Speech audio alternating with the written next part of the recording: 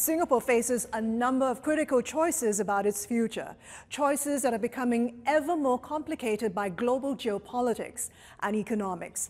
The growing might of China, the United States turning inward under President Trump, and tensions from North Korea to the South China Sea. How will the island nation navigate its challenging path ahead? This week on CNBC Conversation, I sit down with Prime Minister Lee Hsien Loong. Prime Minister Lee Hsien Loong, good to talk to you. You're heading to the US this weekend to talk to President Donald Trump next week. It will be your first visit to the White House under the Trump administration. What do you hope to accomplish during this visit? I hope to develop our relationship with the Trump administration and with the United States. It's a very sound relationship. It's based on a basic strategic congruence of views about the world, about the region, and deep cooperation over many years in the economic sphere, trade, investments, in the security and defense area. We train in the, S in the US, US forces use our facilities. We've fought together in Desert Storm and now in the coalition against ISIS. So there's, uh, it's a deep and multifaceted relationship. Mm -hmm. And I've met President Trump also in the G20 in Hamburg. But this is an opportunity to call on him in the White House, meet him formally, and also to meet the officials as well as uh, people in Congress on the Hill. Any new deals you're hoping to do with the US during your visit? Uh, well, we are hoping to sign an agreement between um, SIA and Boeing to buy more aeroplanes. Is that a done deal, you think? I think that's a done deal. This is not the first time, like you said, you've met President Trump. You met him on the sidelines of the G20 summit earlier this year. Yes. You and I know he's been called many things. Yes. How would you describe him in your own words? Well, I think he's confident of himself. There are things which he wants to do. He has a very uh, set view of the world and of people. And uh, we will work with him. I mean, he has been elected, he has a mandate from the American voters, and he represents the United States of America.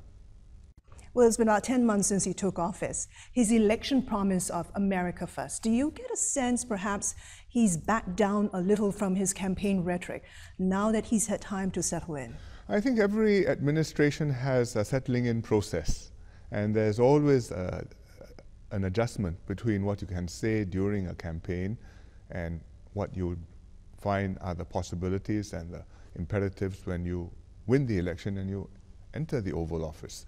And the Trump administration is not different. Perhaps the adjustment is bigger in this case because uh, Trump represented such a, a radically different uh, rethink to so many things which the American um, policy intelligentsia had considered to be shared uh, conventional wisdom. Reality and the forces of events press down on every president. But do you worry about an America turning inwards? We have long depended on an America which has got a clear sense of its stakes in the world and how much it depends on the world as well as how much the world and its allies and friends depend on the United States of America. And we hope this will continue. Nonetheless, well, since he took office, one of the first things he did was to pull the US out of TPP. Now, you've expressed disappointment at the move. Where is TPP minus the US now? Is it still going forward? What's the status? We are still talking. The 11 remaining members are still discussing how we can take it forward, and we, we hope we'll be able to get somewhere. Is there anything happening behind the scenes, whether it's Singapore, ASEAN, or Asia, that's working to convince the US to rejoin the multilateral trade pact? I think uh, the president has made his position quite clear. He's made a formal decision. And I think we leave it at that. I don't think it is um, the time yet to start new initiatives uh, multilaterally with the United States. Perhaps one day the time will come. With the US pullout, is it only natural, you think, that countries like Singapore and ASEAN now pivot more towards China and its Belt and Road Initiative to compensate for the U.S. abandoning TPP? I think we would have, we are paying a lot of attention to China one way or the other. They are a big factor in the world. They are successful. They are growing. They want to grow their influence. And all the countries in Asia want to be their friend and want to benefit from China's development and success. Um, the TPP would have enhanced our relations across the Pacific as well as relations and the interdependence among all the TPP partners, mm. Which included many major economies the Japanese, the Australians, the United States, NAFTA, Canada, and Mexico. Uh, there's no TPP, but the volume of trade nevertheless is substantial, and we hope that it will still be able to grow. Hmm. When do you think TPP will come about? I think. Do you have a time frame? No, I, I think there, there's a tide in these affairs, and um, if you miss the tide, you may be able to achieve the same objective one day. It will have to be in a different form, uh, in a completely different way. But it's delayed in the process. Yes, of course, it will take um, several years before you can come back to it, and the stars have to come back into alignment. We know that President Trump is going to visit Asia next month. He will attend APEC and the ASEAN US summit. Yes. What are the chances of his talks getting hijacked by the North Korean issue?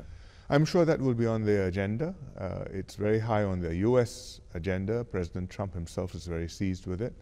And ASEAN is also uh, focused on this, although ASEAN's influence on matters uh, must be limited. We've had a war of words, an exchange of words between President Trump and North Korean leader Kim Jong un. Trump has labeled him, I'm sure you know this, madman, rocket man. Are you worried about North Korea and its provocations? I think brinksmanship has been part of the North Korean uh, issue for a long time. I mean, it's part of the game. You um, make a threat, you posture, you uh, make a risky move, you hope that the other side will then do something to placate you or to uh, give you some advantage in mm-hmm. exchange for good behavior, and then after some time it starts again. So it's not the first time. What's different this time is that North Korea has more nuclear weapons, they've conducted more nuclear tests, they're developing their missile technology, particularly their ICBM technology, and so the risks are higher. But the danger is not just the immediate alarms, but also the longer term uh, trends which are set off in Northeast Asia if uh, things persist in this direction. Because with North Korea going this way, the South Koreans must, are asking themselves, what can we do? I mean, uh, we have the, the Americans have removed the tactical nuclear weapons from South Korea. Now, what do we do? Do we ask the Americans to bring them back? Do we, the South Koreans, think of developing some capability? 60% of uh, South Koreans now think they should have some kind of nuclear capability.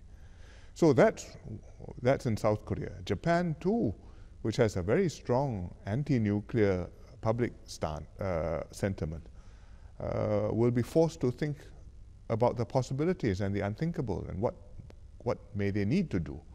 And one former defense minister has said recently, well, perhaps we should ask the Americans to bring their nuclear weapons and put them in Japan. And the government says, no, we shouldn't. But these are thoughts which cannot be completely suppressed. And if in fact it goes that way and South Korea and Japan go closer to being nuclear powers or actually cross the threshold, uh, it means a different strategic and security balance in Northeast Asia. More risky, mm. more tense, and the Chinese will be very alarmed and I don't think that you make for a safer world. There will be implications elsewhere mm -hmm. in the mm-hmm. world. But from where you sit, do you want the U.S. to have more of a military involvement here in the region? No, the U.S. has always had a presence in the region. The Pacific Command is one of their major commands around the world, and the, with the Seventh Fleet and with the, the other U.S. forces uh, based in. But at a time like this, do you want them more involved militarily? I, I think that they are not, well, they, they, will never have enough military forces for, from the point of view of the admirals and their generals. Mm. But what is most important is not just the amount of forces you have in theater, but the political will and the focus and the political direction which is set in Washington, but also in the United States, that to know that Asia is important to the US, that the US will cultivate its relations with Asia, that the US will continue to contribute to the peace and stability of Asia. And this is something you want to get out of your visit? well, it is something which I week? say on every visit to the US, and it is a message which bears repeating because I think it is a truth which is not going to change in the short while and which needs to be made a reminder because the US has so many other preoccupations, domestically and also internationally in other parts of the world. Coming up next, China's growing political and economic clout. How will Singapore defend its own interests when dealing with this awakening giant? Our conversation with Singapore's Prime Minister continues after this break.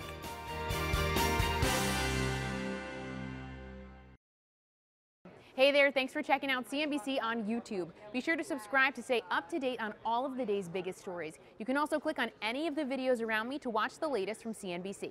Thanks for watching.